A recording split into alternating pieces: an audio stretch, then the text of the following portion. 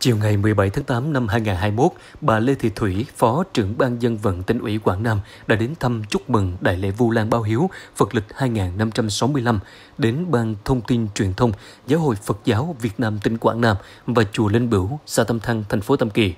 Cùng đi có ông Vũ Ngọc Tươi, trưởng phòng dân tộc và tôn giáo ban dân vận tỉnh ủy, bà Nguyễn Thị Tân Xuân, ủy viên ban thường vụ thành ủy, trưởng ban dân vận thành ủy Tam Kỳ, ông Nguyễn Văn Lương, Phó Chủ tịch Ủy ban Mặt trận Tổ quốc Việt Nam thành phố Tam Kỳ cùng đại diện phòng nội vụ thành phố.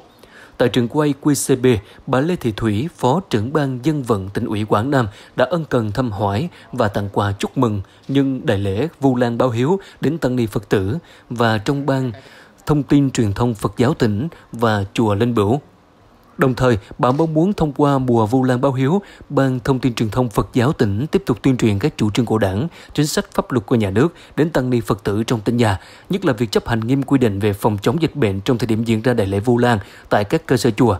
Thay mặt Ban Thông tin Truyền thông Phật giáo tỉnh Quảng Nam, Đại đức Thích Viên Hải, Ủy viên Thường trực Ban trị sự, trưởng Ban Thông tin Truyền thông Giáo hội Phật giáo Việt Nam tỉnh, trụ trì chùa Linh Bửu có lời cảm ơn sự quan tâm của lãnh đạo Ban dân vận tỉnh ủy cũng như các ban ngành chính quyền thành phố Tam Kỳ đã đến chúc mừng đại lễ, kính chúc sức khỏe và đồng thời cầu nguyện quốc thái dân an, dịch bệnh tiêu trừ.